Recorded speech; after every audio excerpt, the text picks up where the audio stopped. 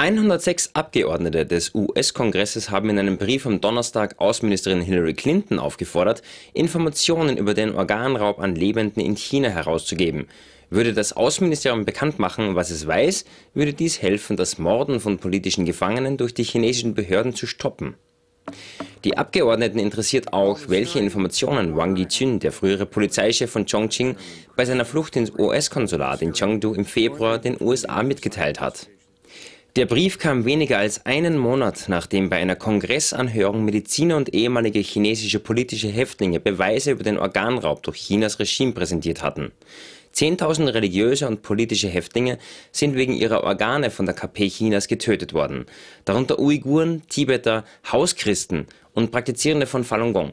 Wang Liqun soll bei seiner Flucht ins US-Konsulat insbesondere zum Organraub bei noch lebenden Falun Gong-Praktizierenden Aussagen gemacht haben. Für Dr. Arping Chang, Sprecher des Falun Dafa Informationszentrums, ist es bedeutsam, dass so viele Abgeordnete ihre Unterstützung kundtun. Because by publicly exposing this crime, Indem sie dieses Verbrechen öffentlich enthüllen und es öffentlich verurteilen, werden die internationale Gemeinschaft und die breite Öffentlichkeit, sobald sie informiert sind, diese Gräueltat nicht tolerieren, Organe von Bürgern zu entnehmen.